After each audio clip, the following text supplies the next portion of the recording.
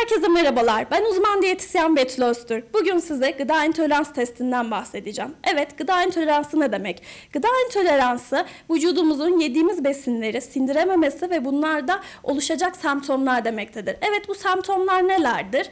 Ee, kronik kabızlık, kronik e, ishal, e, kilo ağlamama, kilo verememe, e, ishal, gaz ödem, şişkinlik, egzama gibi hastalıklara neden olmaktadır. Verites saç teliyle hücre e, hücre tarama teknolojisini uygulayarak gıda intoleransı, gıda dışı madde, e, hormonal denge, bağırsak mikrobiyatası, bağırsak bakterileri, sindirim sağlığı, metal hassasiyeti, mineral besin analizi, e, vitamin analizi ve katkı maddesine bakılan bir analizden oluşmaktadır.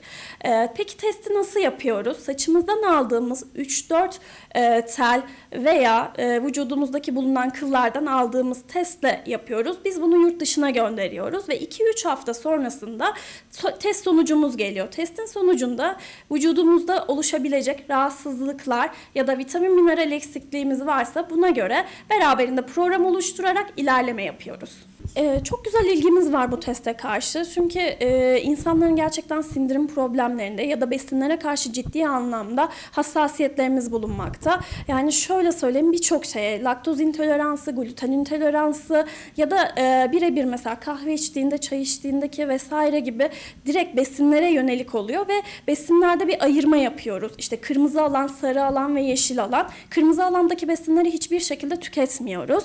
E, sarı alandakileri arada ekleyebiliyoruz beslenmemize.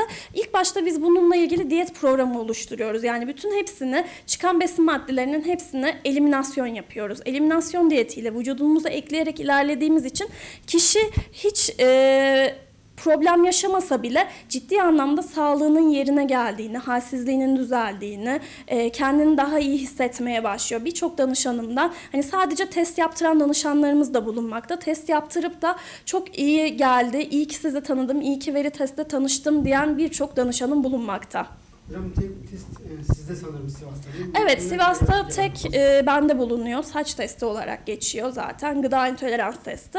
E, iki farklı test uyguluyoruz. E, ama ben detaylı testi daha öneriyorum detaylı olarak. Şimdi çünkü bunda hem hormonlar hem katkı maddelerine de bakılıyor. Yani besinlerin içerisindeki bulunan katkı maddelere, E kodu dediğimiz maddelere de bakılıyor. Bu da bizim için daha e, detaylı bir sonuç olduğu için detaylı olanı yaptırmaya daha bir ilgi bulunmakta.